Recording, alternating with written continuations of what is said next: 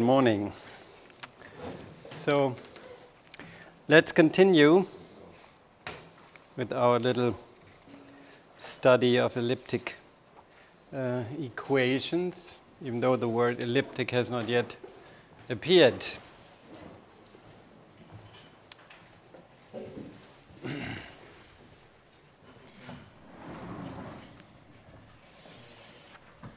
So, what did we do?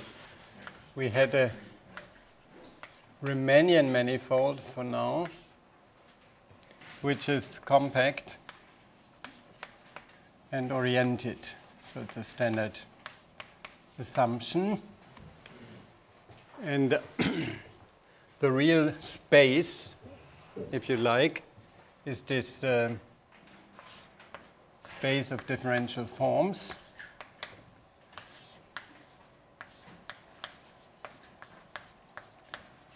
Where this bundle is a complex vector bundle, which builds uh, the basis of the theory of supermanifolds, as you maybe have heard about. So then the smooth functions are replaced by differential forms in order to get the alternating aspect of fermions. But this is not what we talk about. And then we have some differential operators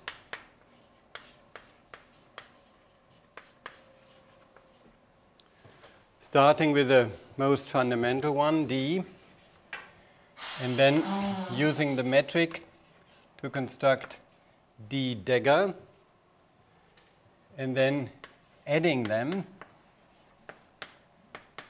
to get the de Rham Hodge operator, which is, so to speak, a prototype of Dirac operators, even though Dirac did not construct this one. But it was a slightly different operator. And finally, the Laplacian. So these are first order operators.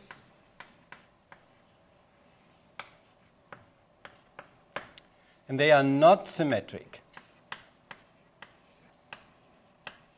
This is why we did this here. This operator is first order symmetric.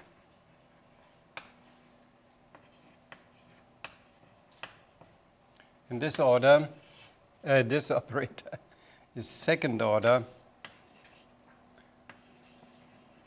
and symmetric.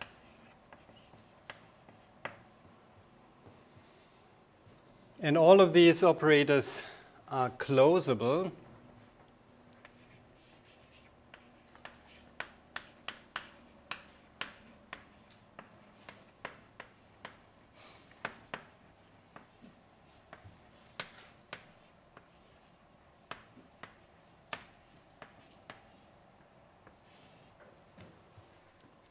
So this is what we talked about. This means that if I take the graph, let's say uh, we restrict to one, let's say D, and I take the closure, then this is again a graph, and then of an operator I call D bar. And why is this so? I mean, this was one of the exercises I uh, discussed or mentioned yesterday, assume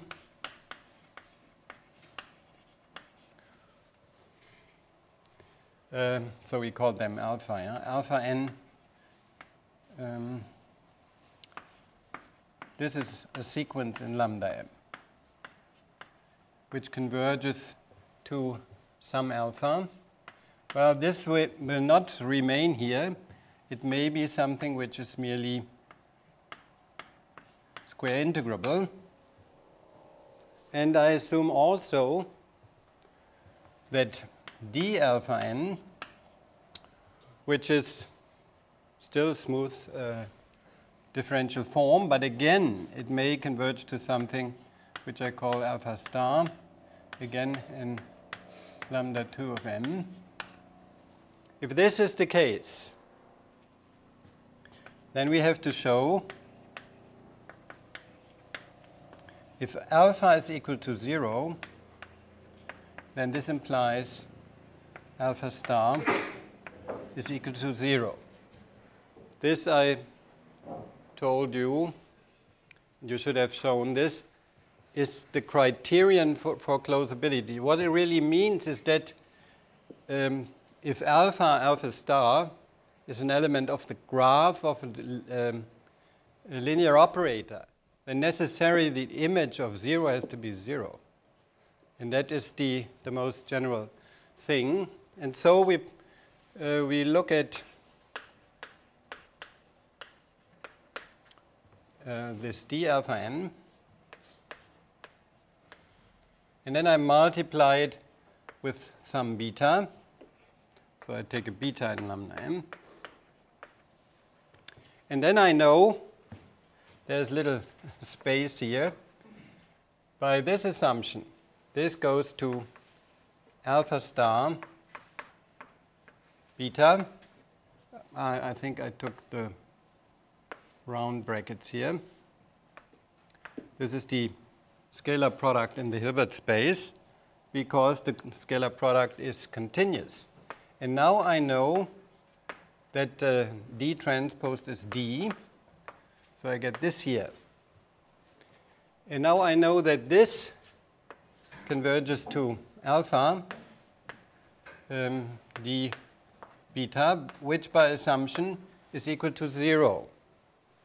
So alpha star uh, times beta for any beta in lambda m is equal to 0. But lambda m is dense in lambda 2 of m, so this implies alpha star is equal to 0. So what you see here, closability is a consequence of the existence of a transposed operator. And so this is true for all differential operators, actually. Yeah? So this is something to remember. True for all differential operators. Very good. So we know that we have closures. So d bar, d transpose bar, d bar, delta bar are well defined. So in some sense, closed operators, closed unbounded operators are the replacement for bounded operators because um, these operators like this here maps the domain to the space L2 of M. And this is a Hilbert space in the graph norm. Yeah, this is the important remark we made already yesterday. So this is a bounded operator between different Hilbert spaces, but we put it inside and then we can almost work with it uh, like a bounded operator. But the question now is, um, are these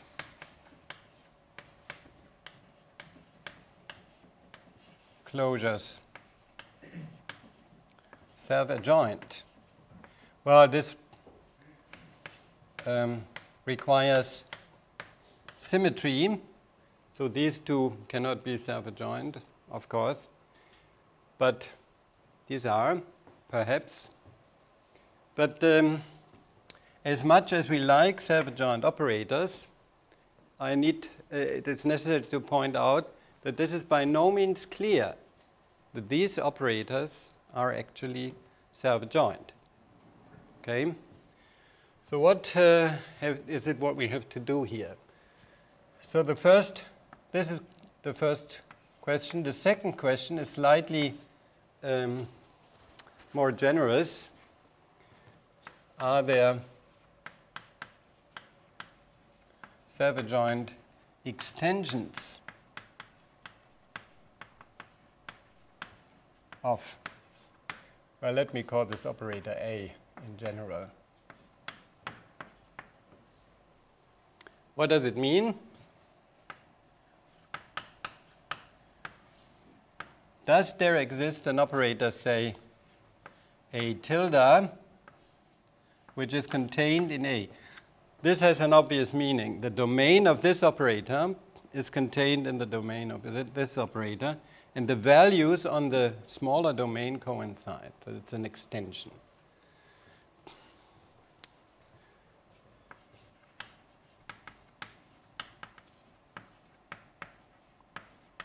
So this was the question von Neumann posed to the physicists, which did not care for the self-adjointness at all because they thought what we do is something which is well defined.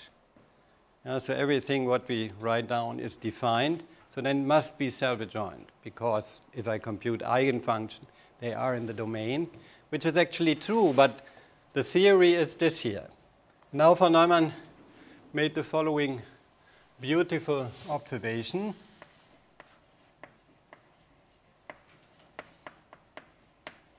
Which I encourage you to pursue.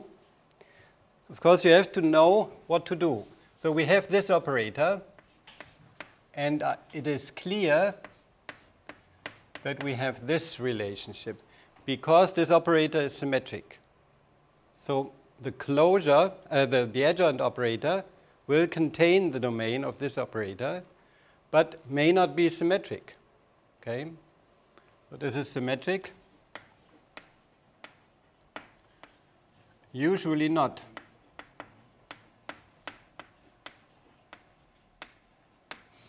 And um, the theorem of von Neumann is the following. Consider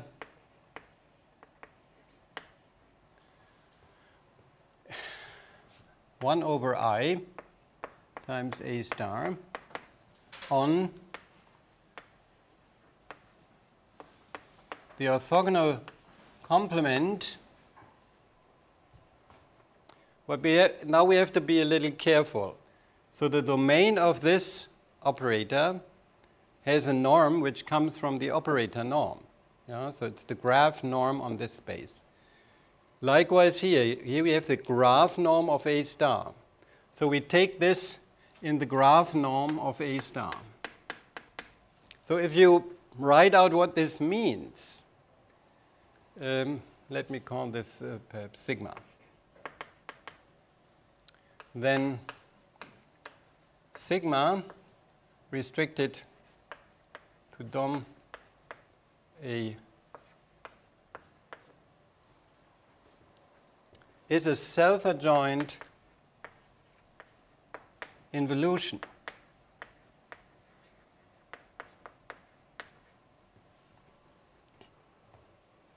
If you write it down, it's a triviality, but to see it is, of course, uh, a big discovery, such that uh, this space, which, uh, no, I don't give it another name. I use this space here. DOM A orthogonal splits into two spaces, n plus plus and minus. And what is it? This is um, um, is the, um, oh, let's say it's easier, the projection onto n plus minus is um, sigma plus minus 1 over 2. I hope that's correct. So this is so for every involution. This is just an algebraic, little algebraic um, computation. Not difficult at all. And the important conclusion is the following. And A admits self-adjoint extensions if and only if these two spaces have the same dimension.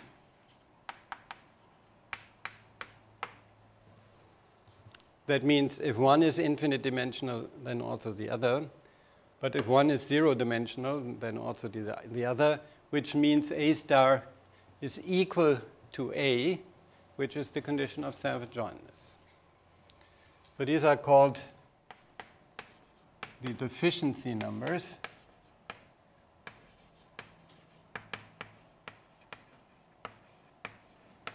And in general, you can quite easily find out whether this is true or not.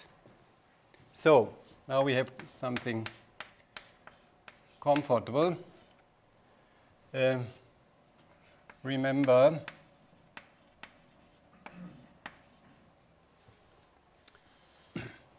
ah yeah I should say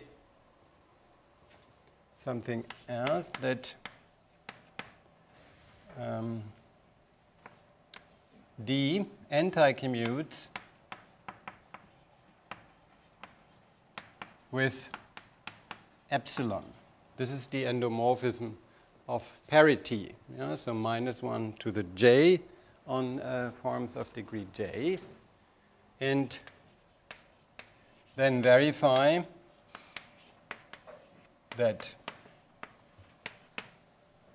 n plus minus equals the kernel. Now my a over there is the d here of d star plus or minus i. Well, I mean, you know, this was the involution, so this is absolutely trivial. Then epsilon anti-commutes with d star as well.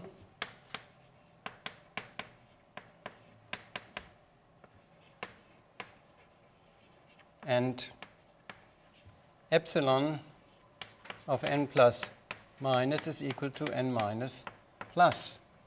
So they must have the same dimension. So then there are self-adjoint extensions. This, of course, uh, convinces a physicist because these things as supersymmetries have a certain, I mean, one aspect of supersymmetries have a certain importance. And so we see without doing anything that the operator D always has self-adjoint extensions. And this does not even need that M is compact. If M is not compact, then you replace lambda by the forms with compact support, and everything can be done as here. So this is always true. And then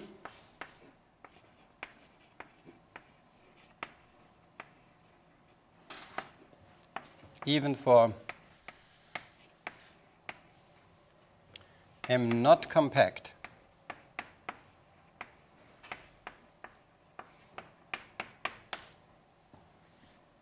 Self-adjoint extensions.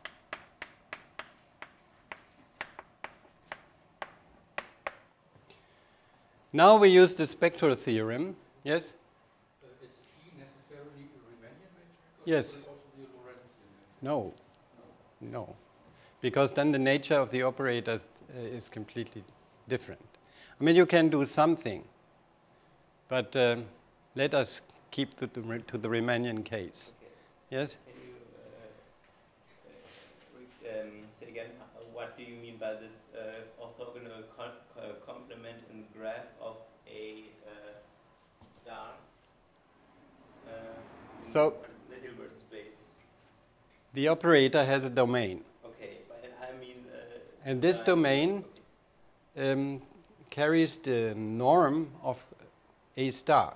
So that means uh, if I have, uh, let's say, some alpha in here, then um, the norm, let's, let me call this the A star norm, squared is the alpha norm squared, 0, just the norm in the Hilbert space, plus the zero norm of A star alpha.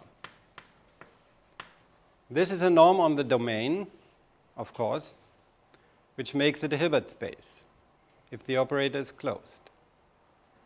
This is called the graph norm. Okay. Otherwise, the domain sits in, in the Hilbert space rather strangely. You don't know what it is. But if you put the, the norm on it, it is a Hilbert space in its own right with this norm. Yeah? Okay, and so you, the scalar product in order to compute this is th this scalar product. So we take alpha, alpha beta, a star alpha, a star beta. That's the Hilbert. Um, and that must be zero um, if one is in uh, the domain of A, and that's the condition. And then you see immediately that this is actually so. So fantastically, spectral theorem implies that delta is always under all conditions self-adjoint extensions. But of course, there may be several. And um, that is very unpleasant for a physicist because this means that he has to make a choice. A choice uh, which he was not aware of, maybe. And so there's some information missing which distinguishes between the self-adjoint extensions. Uh, we have also that delta is greater or equal to zero, which means, of course, that delta alpha comma alpha is greater or equal to zero, which is very easily um, derived from the fact that this is d squared. And in this case, there is a special extension which I just want to mention here without explanation. It's the so-called Friedrichs extension. So you may have an operator D without such a, an anti-commuting involution, and then you are not sure whether D really has a self-adjoint extension, but D squared will always have a self-adjoint extension. Now, so this is the more important thing. This is extremely nice, but now what the physicists really want is that the self-adjoint extension of the operator delta, for example, is the closure. So there's, you do, not have anything else to do but to look at sequences where alpha n and d alpha n or delta alpha n converges. This is, then the system is well defined. So you don't need any additional information. And this is unfortunately not easy. Yeah, this, um, even though you want to assume this gladly. And let me explain what is really behind this. This is the notion of ellipticity.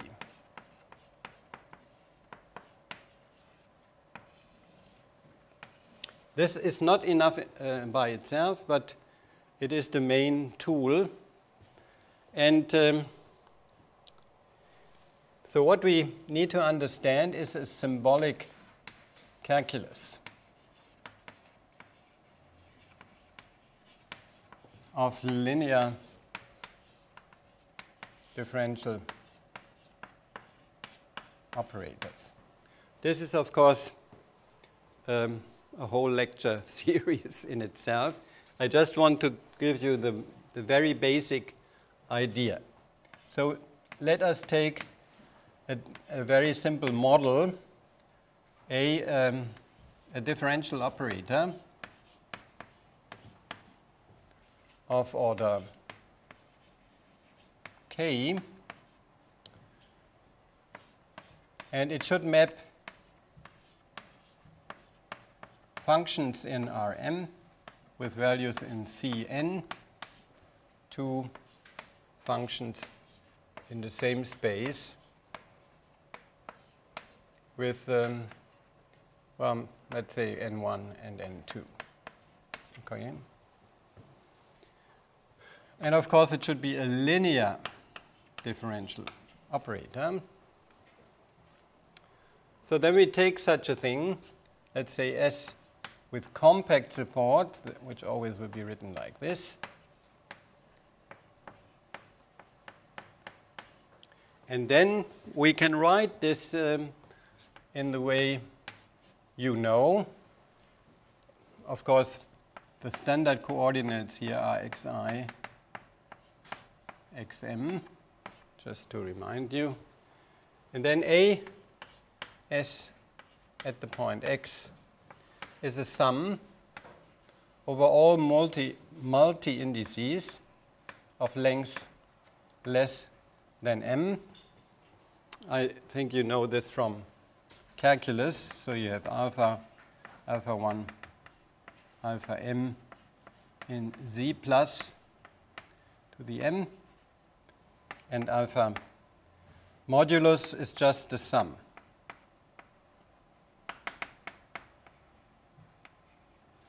Ah.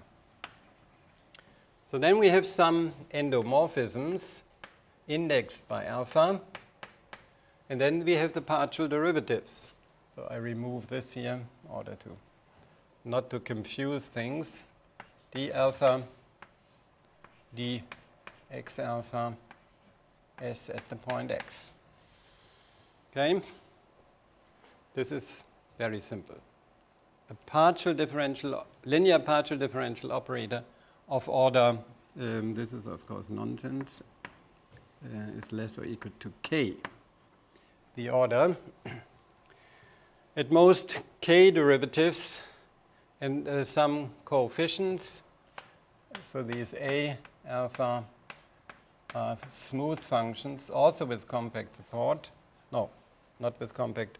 This has compact support in Rm with values in the matrices, complex matrices, um, n1 times n2. And uh, now the um, simple but fundamental idea is to use the Fourier transform on this here. Yeah, so I take the inverse, in, this is a compactly supported smooth function. I take the inverse Fourier transform of the Fourier transform. And then I get the following nice formula. Um, so I use the asymmetric Fourier transform where you don't have 2 pi to the m over 2 on both sides, but on one side you have nothing, on the other side you have this factor. You integrate this over Rm. You get the e to the i x psi is the Fourier variable.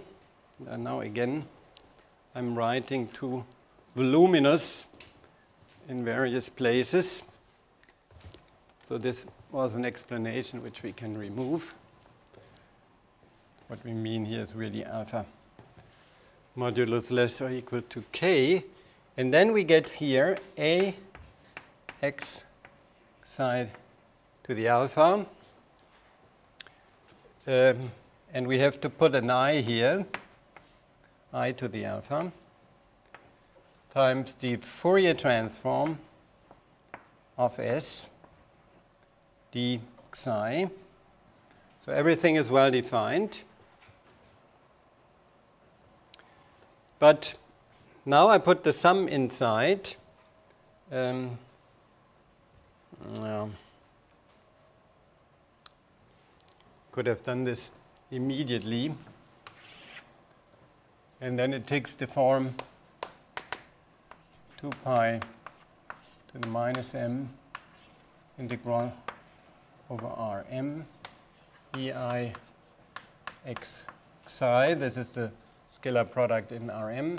And here's some polynomial in psi.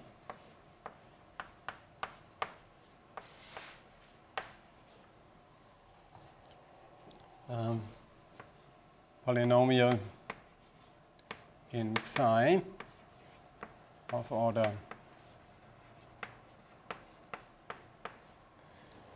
at least say with it, smooth coefficients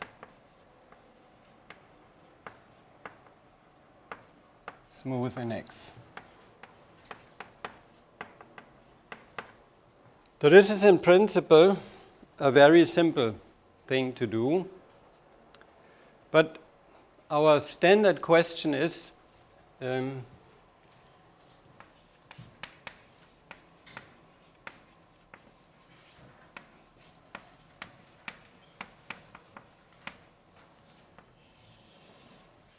solve A S equal T and determine the precise conditions under which such a, equation is solvable, including the regularity of T and the regularity of S. This is the, the daily work of the person who is doing PDE. And here you ha can have a nice idea, namely, assume for, for the moment that this does not depend on x for simplicity. Then, in fact, you can, um, if this is invertible, then you can hope to define an operator like this with a symbol A of psi inverse. Apply this operator to this thing, then you multiply the symbols if they do not depend on x, and you get the identity. So the idea is simply if A psi is invertible,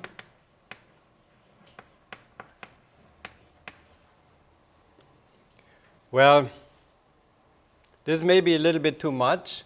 It would already be nice if the highest term, the term with alpha modulus equal to k, because the other things are smaller in a sense, or even a sub k equals to the sum of the a uh, um, a x psi, where the modulus of alpha is equal to k, which is called the principal principal symbol.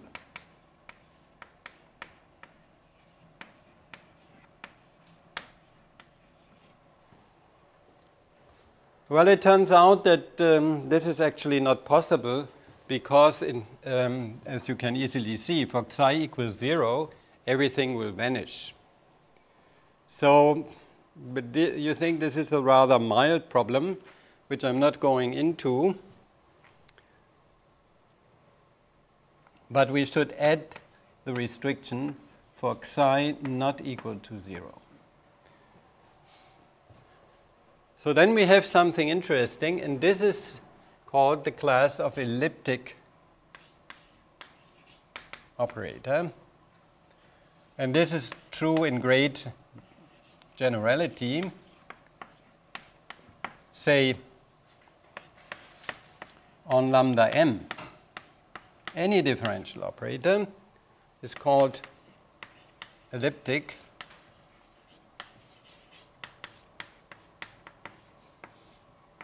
if the symbol, and we give it a name now, this is called, because of the Fourier transform, a hat of psi. Okay, remember the eyes which are sitting in here. If and only if a hat of psi is not is invertible, this is a matrix, of course, for psi not equal to 0.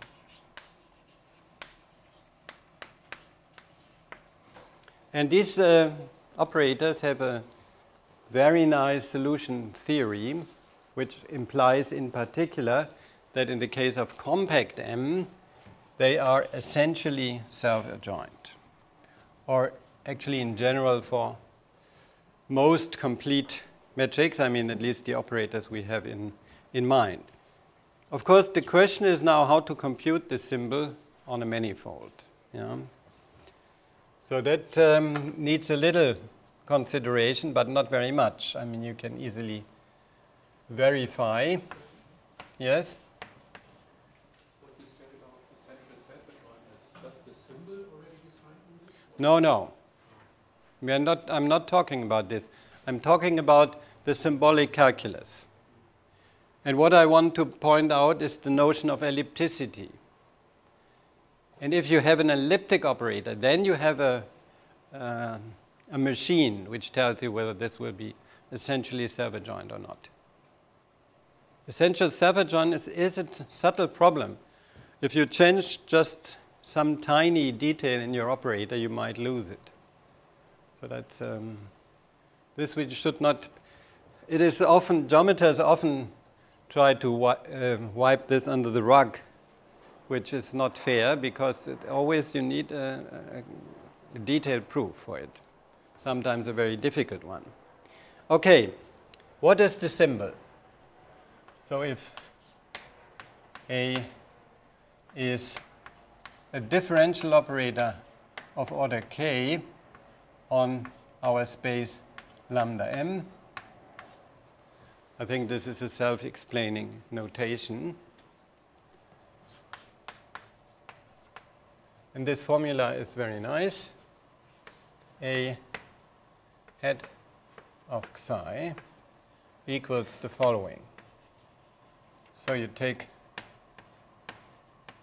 a variable t here, and this var variable arises in the following way. You take this smooth function, f is a smooth function, you apply the operator, and you apply.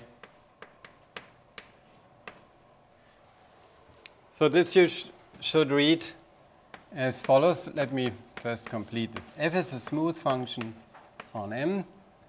Um, okay, and psi is a tangent vector, a cotangent vector at the point P. This is the right interpretation. Here we have just said it's a Fourier variable.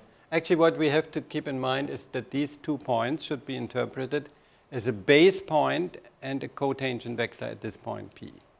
This is the right interpretation. And so we do this here, and then we develop, um, we have the point P in here, and for clarity, you can write it like this.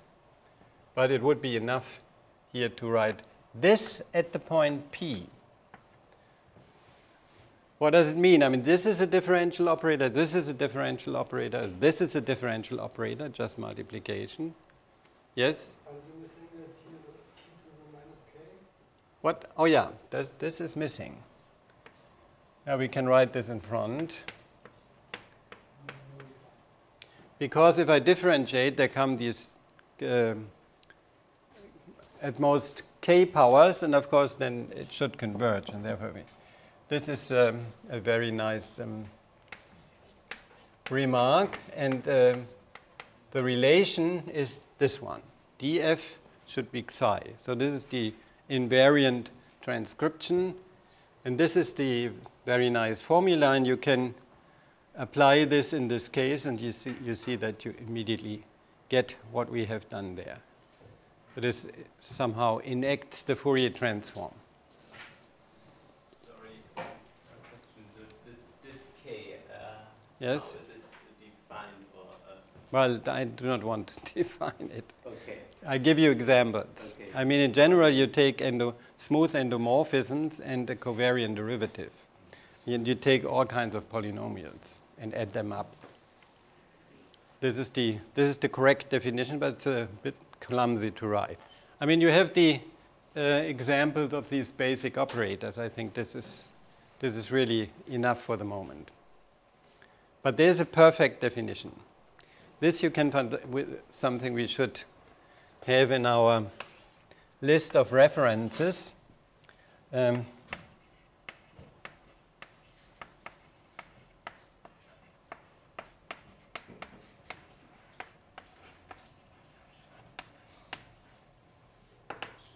uh, what is the title again? I forgot. Dirac operators? Hmm? Heat kernel Heat kernel, right. Thank you. The heat kernel and Dirac operators.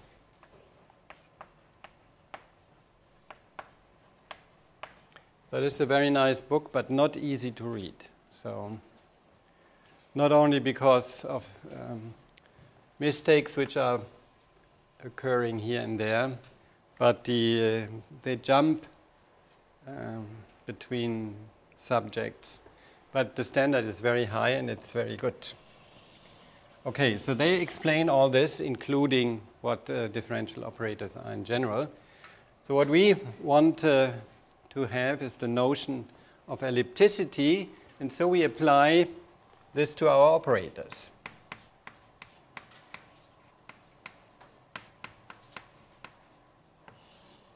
Let's say we want to compute um, d at some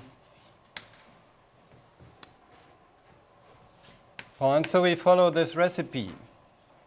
So first of all, we need t inverse e to the minus i t f of psi, f of x, f um, or f of um, let's put it the at the end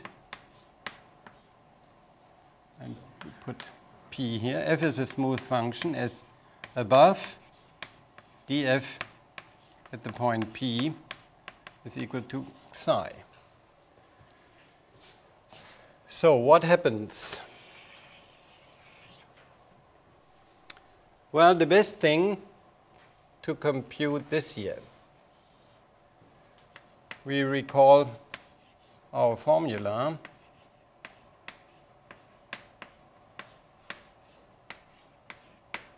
Applied to e to the i t f times um, now this is an operator yeah so I have to apply the whole thing to some form.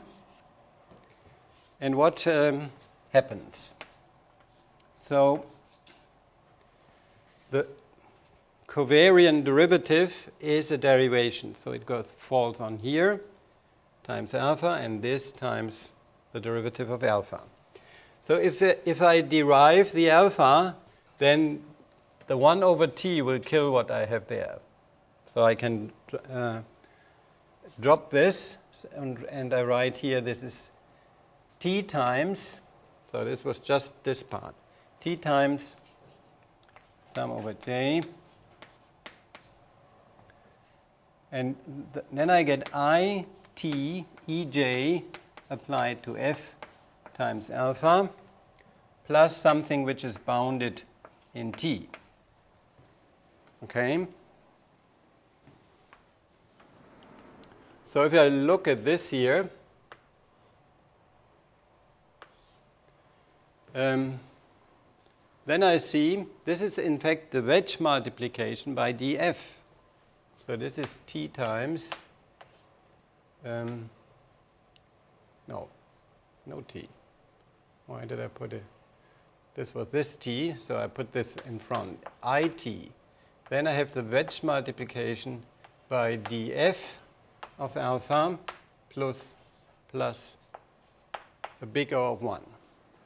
Okay, just by seeing that these are the components. This is um, df applied to ej, or the scalar product ej times df. Okay? And therefore you get this here. And this is the symbol. Um, so the final result from here is that we get i times the wedge multiplication with uh, psi, because df was psi. And this is not elliptic because there are lots of, of psi's where this um, um, operator is zero, namely whenever you have a form which contains the, the vector psi, um, it's in the kernel of W psi, yeah? the wedge, uh, the um, ah, wedge multiplication. So this is good. Let's uh, try next. But then we can relatively simply see that there's a general rule saying that this is the symbol of D, um, D hat of psi. So this is an endomorphism. And taking the transpose of this, and this we know, this is minus i times the interior multiplication with the gradient.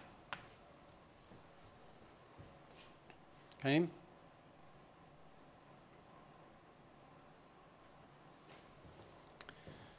Okay, now we can compute the symbol of the Rham-Hodge operator, which is the sum of these two symbols.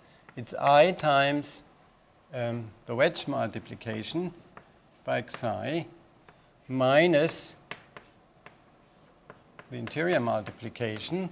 And this is what we called the Clifford multiplication by the gradient, so to speak. Now, the Clifford multiplication is something different because if you multiply it with itself, you get minus x's norm of xi squared, or norm of xi uh, sharp squared is the same. And that means this is not invert, uh, this is invertible for all xi which are non-zero. Okay? What is the question? Uh, what is this symbol uh, in Oh. the first line uh, after the minus? I, I put this yesterday.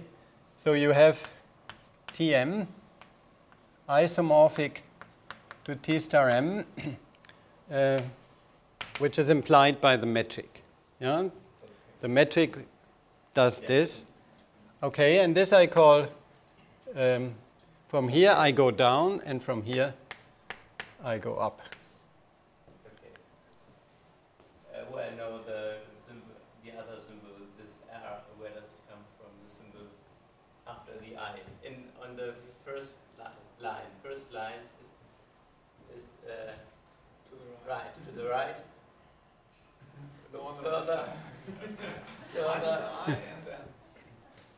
Once. Oh, yes. this, this, yeah, this is, a li- the interior multiplication. So no, what, what is the symbol? This is this an R I? Psi. S- No. Which symbol? This here? The I is Between side. This one? Psi and the I. No, no, no. To the left. R. To the right. R. Between them. It's an R.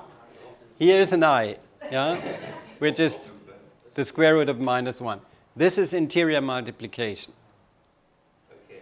This is the vector psi, the co-vector, and this is the isomorphism which puts it into the tangent space.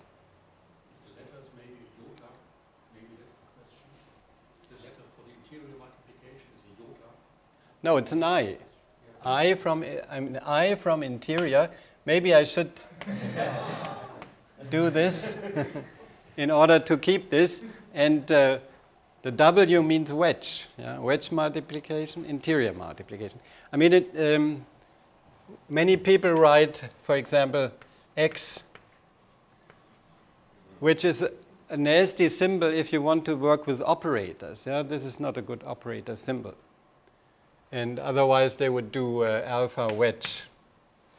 Yeah, but this is not um, not good. Anyway, this is just notation, nothing substantial. Yeah, but notation must be correct. I understand this fully, and therefore I leave out something every now and then. And fortunately, I have somebody to watch me. okay. So we have this, and this is an elliptic operator. This is extremely important.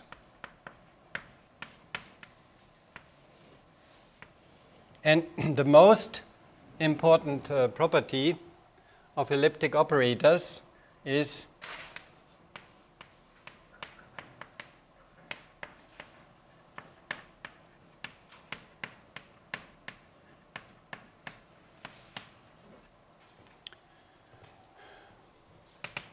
so take uh, u in the domain of d star. I do all this uh, in the concrete examples. Uh, U um, is in our Hilbert space. And let's say the support is compact in order to not to be tied to a compact manifold.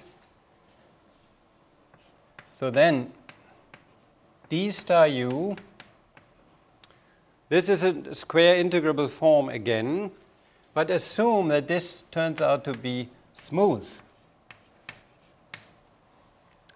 Then we have u and lambda m.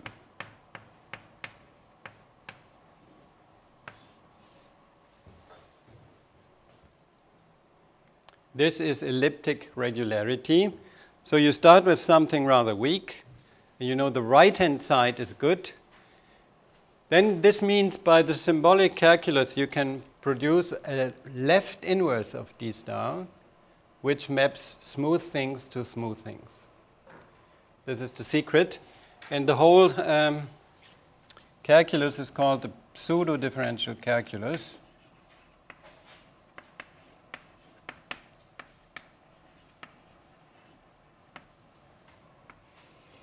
which was invented in 1965. Next year it becomes 50 years old. So, but I mean, this is only to give you a feeling for uh, the kind of machinery and difficulty which lies behind this. And you can measure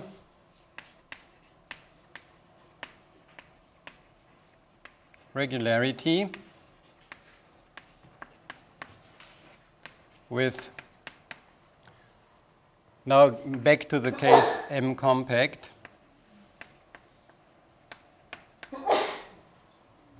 With um, the domains of deep closure to the K. Now these domains become smaller and smaller and they are more, the elements in the domains are more and more regular so the intersection of all these domains is the smooth forms. And this is uh, what you do in order to prove, for example, in the compact case, um, we have essential self-adjointness. So this is a, a theorem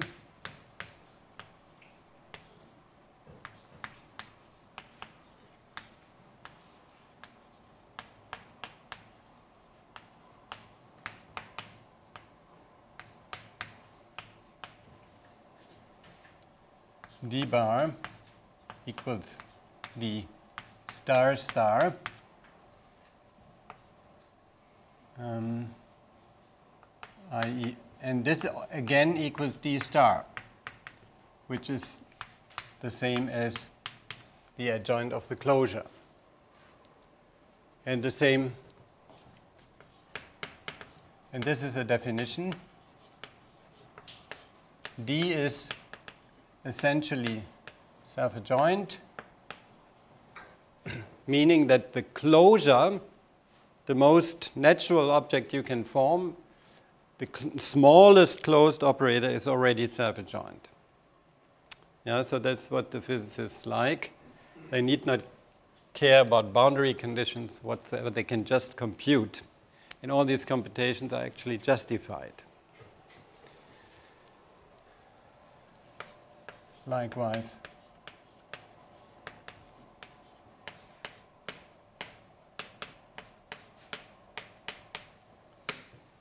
So there are various ways to, to write this. So next thing is um, we want to understand the spectrum of D. Well, it's uh, I put always the bar and not in order not to confuse you. D is just the differential operator on lambda m, and D closure is the operator, closed operator acting in uh, the L2 space. So what about D? Now we want, we want of course, by what we have done yesterday that the spectrum of d bar equals the discrete spectrum.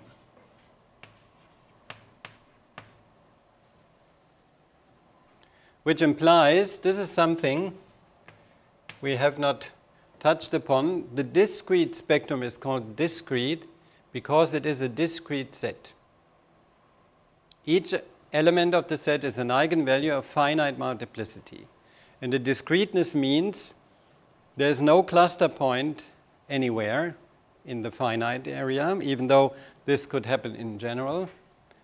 The only accumulation points are plus and minus infinity. Okay? So, uh, spec, if this is true, consists only of isolated eigenvalues with finite multiplicity.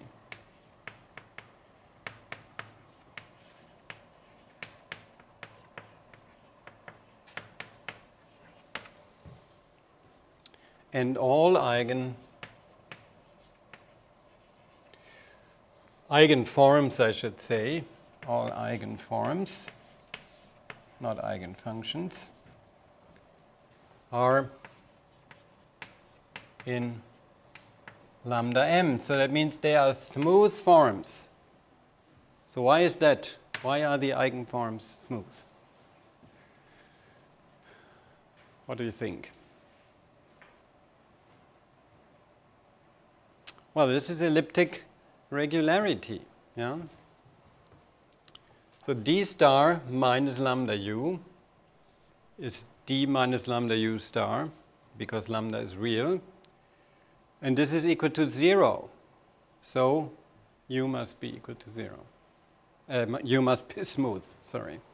This is, and this means we can work as we were in, a, in the matrix case. Yeah? Only we have to take care of the fact that there are infinitely many eigenvalues and eigenforms, but everybody knows how to handle this.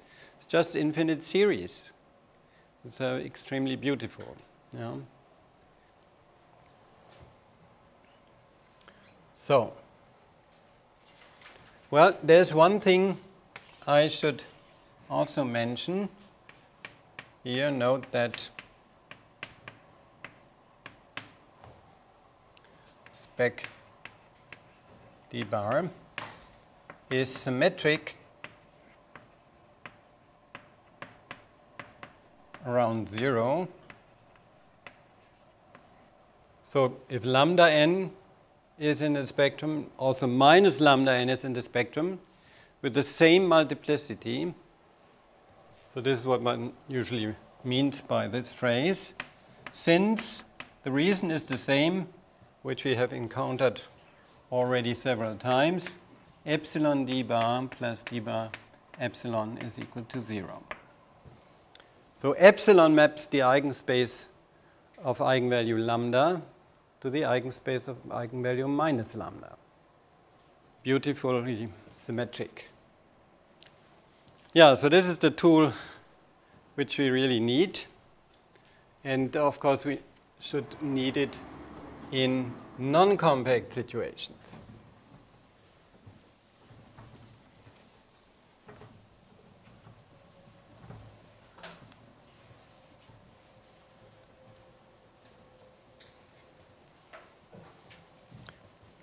So this is, um,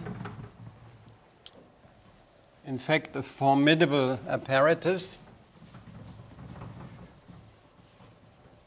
It's um, well known in certain parts of the mathematical community so that it's regarded to be trivial, but it is not.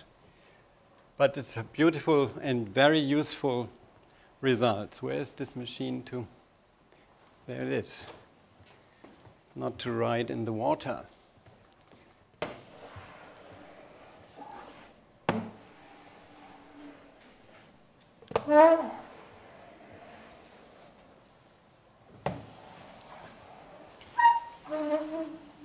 So now we can take a rest, uh, lean back, and contemplate what we have done, because after all, we want to understand singular spaces. And uh, we use spectral theory as a tool to derive invariants of spaces. First of all, only in the simple case of uh, compact manifolds. And how do we do it? So, what can we learn from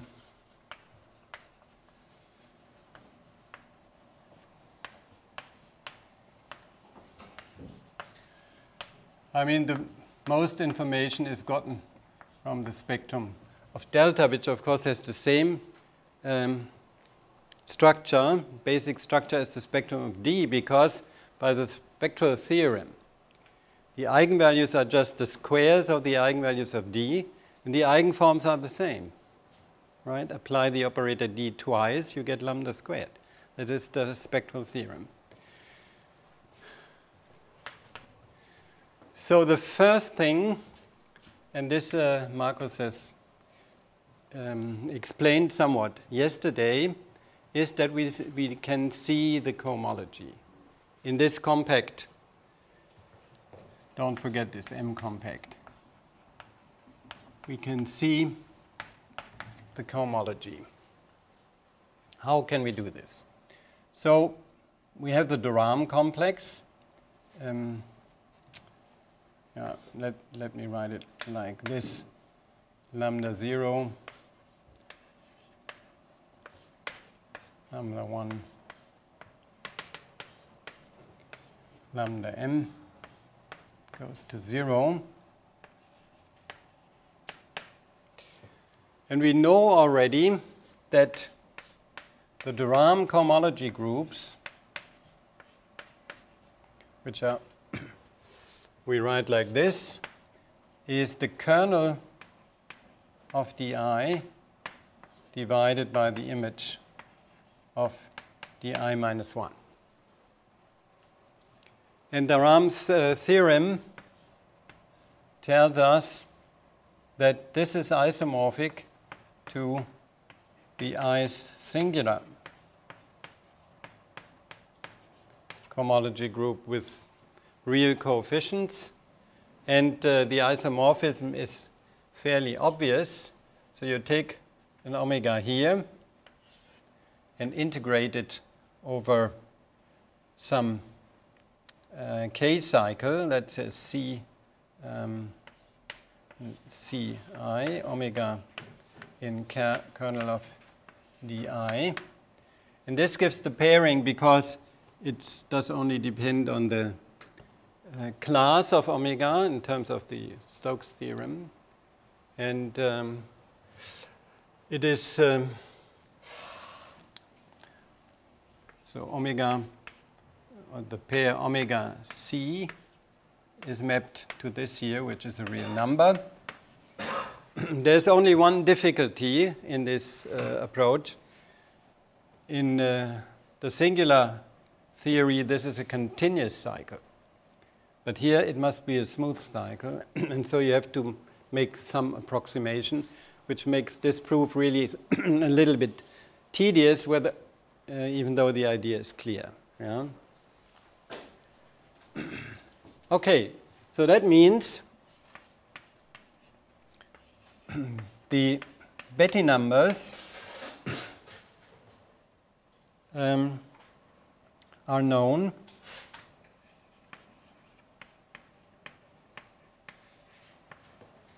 from D alone.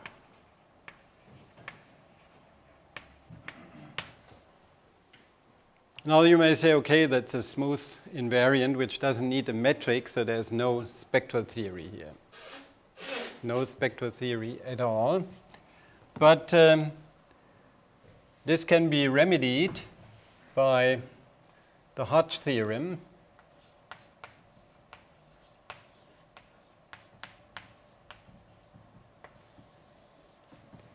which says that the, the kernel of the self-adjoint Laplacian, where this is actually, if you know elliptic regularity, you can actually forget this, is isomorphic to the de Rham and therefore to the singular cohomology groups. And um, you may wonder how actually does this occur? And uh, one way to see this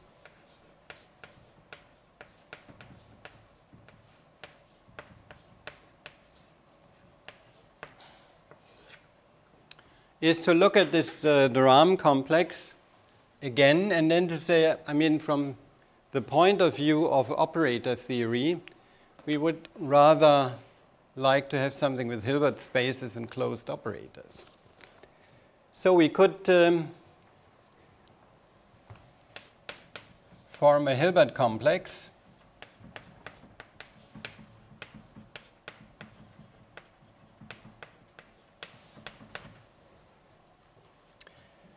Then, of course, you cannot write the, the Hilbert space there, but you write the domain of D0 bar to the domain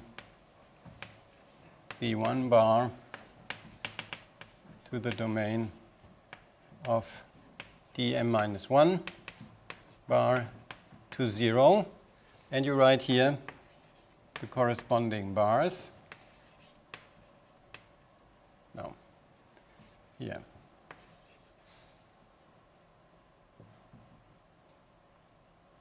Um,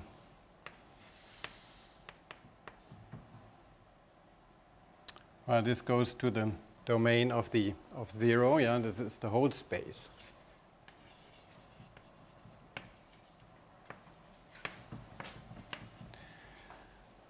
And uh, it's not uh, difficult to see that di bar of the domain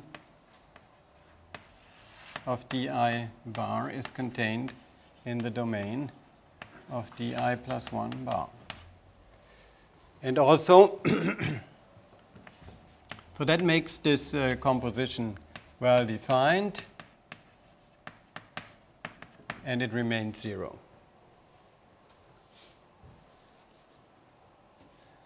Now you, you can uh, describe such a complex, which you could also write as um, a closed operator d bar in um, L2 of m with the property with d bar squared equal to 0. And this gives you um, Hodge decomposition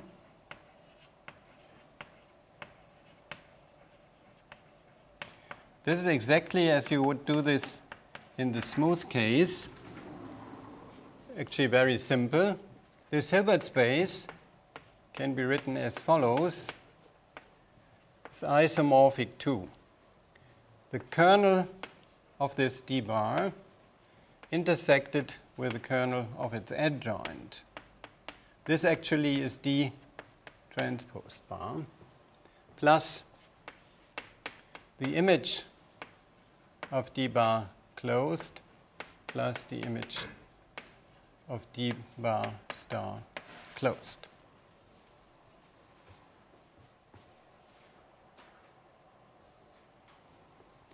And then these are naturally isomorphic to the kernel of d bar divided by the image of d bar. Now you forget about the grades. And this, of course, is isomorphic to the cohomology, to H star of this, uh, let me put here an L2 thing, which is really the L2 cohomology, which Marcus has already the L2 cohomology on a compact manifold, which coincides with all the others.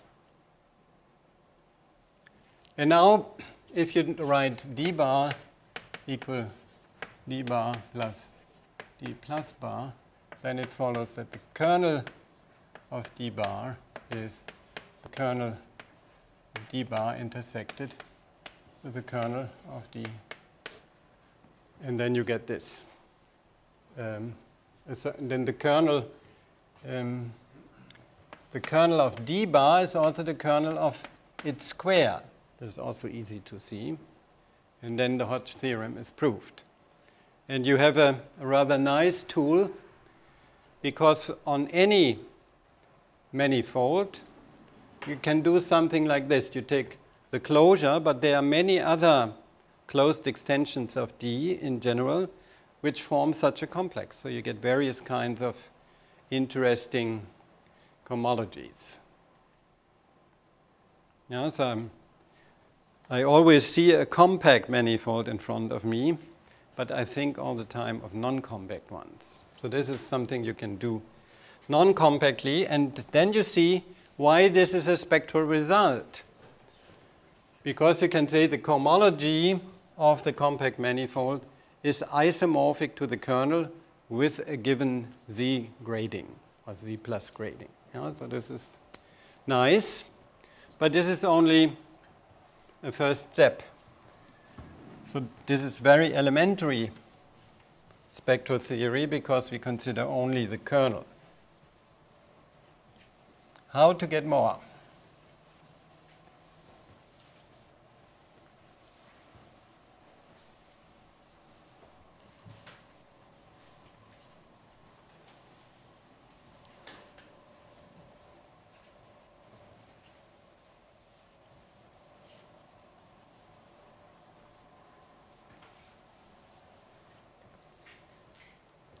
Well, there is this um, idea of Bohr-Sommerfeld quantization, which some of you will know, right? No? It's old, it's not in the books anymore. But this idea says that if I have um, an, an uh, elliptic operator, let's say on a compact manifold, then the eigenvalues, the number of eigenvalues less than t, so these are the bound states up to a certain energy, are really proportional to the volume of the, the cotangent space. So this is the symbol, let's say, P of psi with the, the standard volume dx d psi. This is roughly the number of eigenvalues less or equal to t. If you regard eigenvalues as, as arising from quantizing a Hamiltonian system, let's say. And the Hamiltonian system in, for the Laplacian would just be the geodesic flow, right? So this is a, um, an idea of the Bohr-Sommerfeld quantization from the very early days.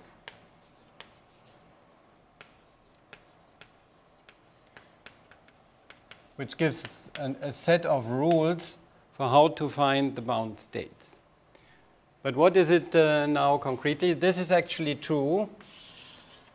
And we do this for the Laplacian because you can count the eigenvalues from 0 to infinity. Otherwise, you have to count in two directions. It's a little nasty. So, n delta bar of t is equal to the sum over all lambda which are less than t greater or equal to 0. And we put here the, the dimension of the eigenspace. So this is justifiedly called the counting number, a uh, counting function of eigenvalues with multiplicity, obviously. And then one can show in our setting for a compact manifold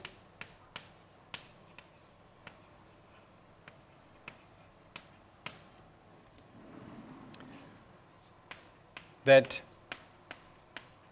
the counting function behaves asymptotically. So I hope this symbol is known. That means uh, it really is the first term I write plus something of lower order. So if I divide by the leading power, then it goes to zero. So this is um, a universal constant depending on the dimension times the volume of the manifold, vol m, in the metric G, times t to the m over 2, m the dimension. Yeah? This is um, normally called Weyl's law.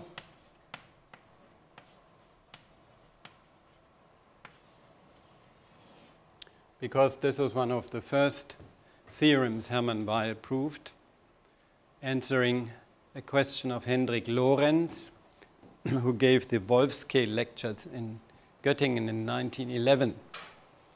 And for the, the theory of the black body radiation, you need to know that the um, partition of radiation is independent of the way you uh, decompose the domain. And this is exactly what you need. This is what he asked. Is it true that we have such a relationship asymptotically? And Hilbert said immediately, this will not be proved in my lifetime. This was one of his mistakes because Weyl proved it three months later I was very young that. And then this um, is actually true. Is the proof is um, also not so simple, but in a way straightforward because the methods are very well known. Namely, what you do is you look at the trace of the heat operator. So first of all, this operator does not make any trouble for us anymore because we define it by the spectral theorem. And what is the trace? Well, the trace is you take this operator and take all the eigenfunctions. Um, how should I call them? Let's say alpha j. And you sum this. Yeah? Well, the eigenfunctions replace the delta here by lambda j. And we know that lambda j increases rapidly, so this will converge because the, um, we know the total number of uh, eigenvalues up to t from this uh, formula. So this is finite.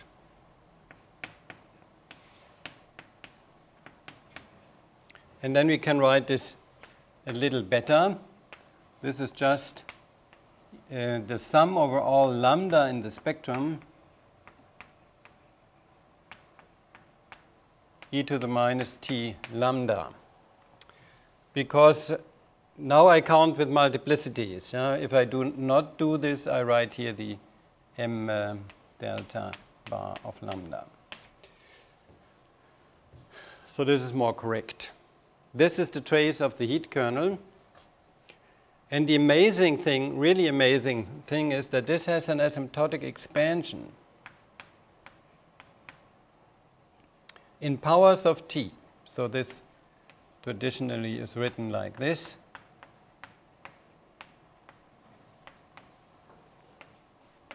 So not just one power, but all powers of t arise here. And this is kind of a miracle, and you want to know why this is true. And um, let me just give you some intuitive intuition, because we cannot do more than that here, but we, um, this is very carefully written down in the book I wrote, probably here somewhere in this book. It contains all the modern information on the heat kernel and its properties. So look at this operator e to the minus t delta. And now let's take delta 0 um, in Rm. Then you know if you ever heard a little bit about um, partial differential equations, and you know that this is actually an integral operator applied, let's say, to a function s at the point x equals 1 over 4 pi t to the m over 2. That's the one which occurs there. Then an integral over all of Rm e to the minus x minus y squared divided by 4t s of y dy. And this object is called the heat kernel. And the trace is, so to speak, the integral of this over the diagonal, and this term disappears, so it's just this. So now on a Riemannian manifold, you can uh, choose coordinates in such a way that at any given point, the, the metric tensor is the Euclidean tensor, and the derivatives of the metric coefficients are all zero at that point. And therefore, you could say, well, it is not unlikely that in general, so we are quite daring now, we take the full D and we we accept from this intuition that actually we do have a kernel also in the manifold case that this is something that can be written now in the right coordinates. So let me call these coordinates x and y, and we are based at x, x is fixed, that you find a representation like this. Um, no, e to the minus over 4 pi t to the m over 2. And then modifications which are given by some endomorphisms and a correction term to the power t for small t. Now this is an Ansatz, so to, so to speak.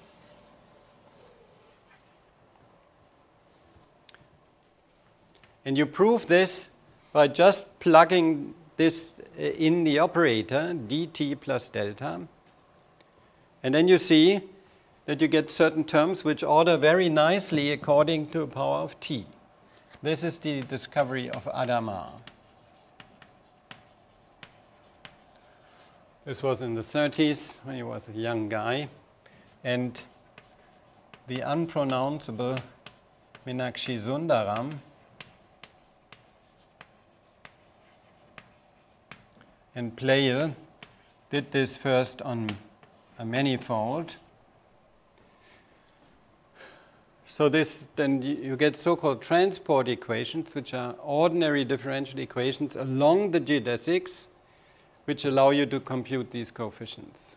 And then, of course, we can write these asymptotics, and then we get this, and then we apply a standard theorem of classical analysis, which of course is not taught anymore anywhere.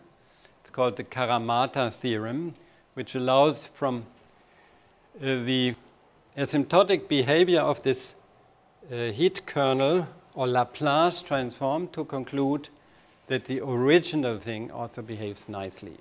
Yeah? So this is um, standard. And what do we get from this? So all this implies that m equal to the dimension of m and the volume can be obtained from the spectrum.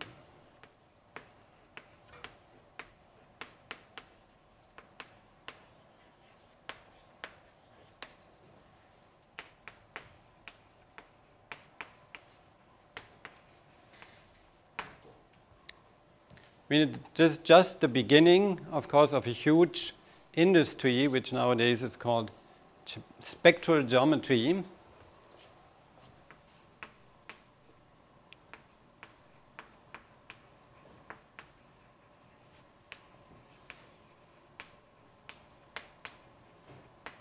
So one looks at the spectrum of geometric operators, mostly Laplacian type, really Dirac type and tries to extract more information than just this. And the famous question here, which was actually first posed in 1897, but is nowadays always called Mark Kac's question. Can one hear the shape of a drum? So if I, hear somebody play a drum and I can hear all the eigenvalues precisely. Can I describe the, um, the uh, shape of the drum, the geometric structure of the drum? This question is still unsettled, at least for uh, drums with a smooth boundary, the answer is not known. It is very likely that it may be true, but if I take um, a rectangular uh, um, polygonal boundary, then you can make many interesting counterexamples where it's not true. But on the boundary, of course, you have to think about boundary problems. Now, we are, of course, interested in much more complicated um, questions than these. For example, the signature, which we have heard about quite a bit already and for which I have only very little time. But let me just say a few elementary things about this. So we go back to our operator D. Yes? Yes?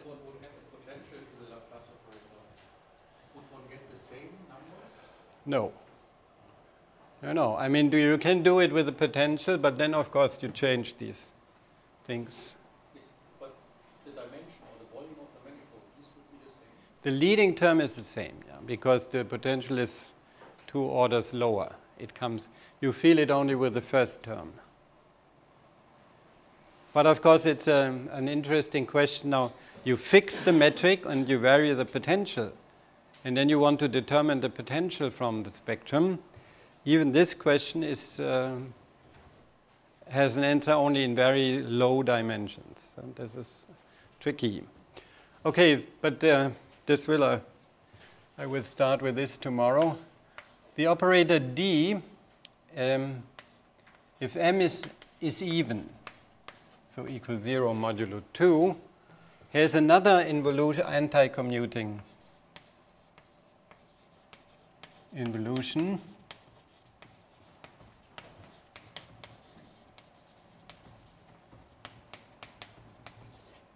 Involution. Which is of extreme importance, uh, omega g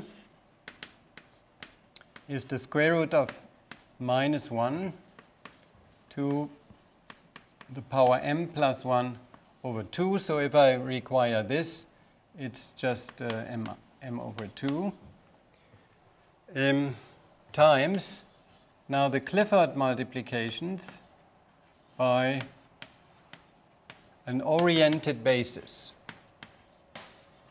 just done one after the other. Um, EI, local oriented orthonormal frame. Okay? And then, that's not difficult to see. D anti-commutes with omega, omega g, which it, do, it does not in odd dimensions, then it commutes. And so the, the space lambda splits as lambda plus plus lambda minus, where these are the, um, oh sorry, I should say that omega G transposed is omega G as an operator on, uh, and uh, omega G squared is equal to 1. So it's a, a self-adjoint involution. Uh, the physicists also have a name for this. Who knows it? Um, maybe this I don't know. So it could be, yeah. Yes, this is this is, but it's called the chirality operator. Yeah, this is so. This is uh, probably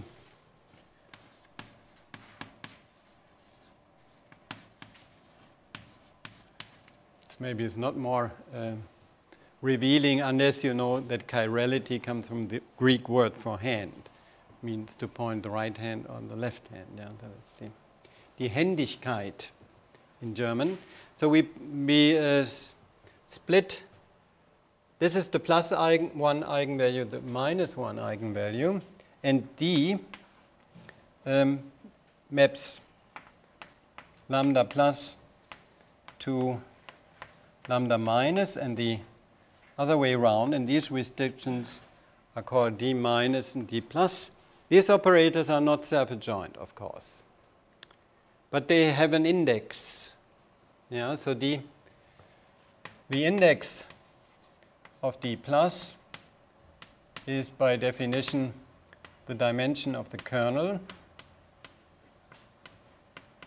minus the dimension of the kernel of the adjoint, and the adjoint happens to be d minus. And this is a certain number. And um, most of the time, this number is zero. Yeah? But if, um, or let's say half of the time, if m is divisible by 4, then it is the signature which Marcus introduced yesterday. And this is uh, relatively easy to verify if you remember that the kernel of D is the kernel of delta. So these, this must be the difference of the dimensions of certain cohomology groups. And this is exactly those in dimension 2k, which uh, then this index equals the signature of M. This famous invariant, well, it is a slightly modified spectral invariant because now we uh, put a weight on the kernel. But uh, of course, we would like to obtain by uh, spectrally inspired methods. Another representation of this, which you also heard yesterday, which is the uh, L class of nabla G. That means the L class is a polynomial in the curvature defined um, of G, but the curvature, which is a form valued endomorphism, and this form has many degrees, and the highest degree integrates to the L class. And the, the local index theorem tells you how to determine directly the connection between this class and the heat kernel. Now, this is the um, not strictly speaking spectral theory, but you need it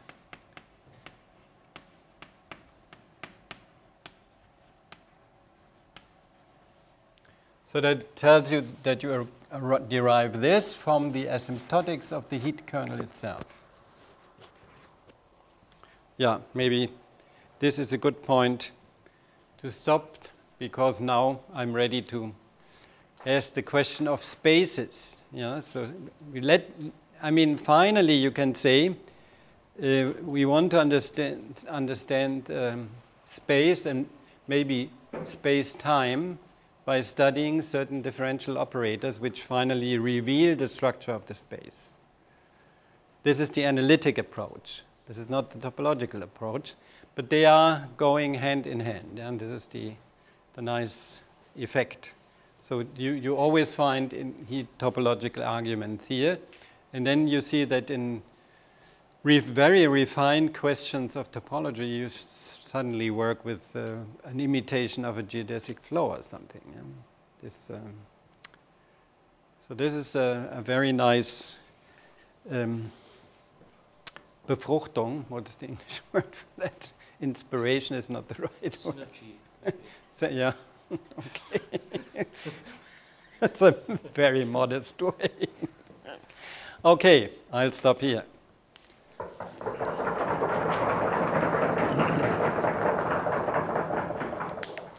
Any direct questions?